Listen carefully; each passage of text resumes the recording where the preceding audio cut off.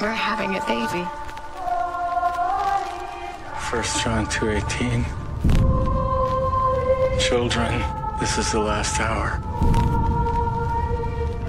You have been told the Antichrist is coming.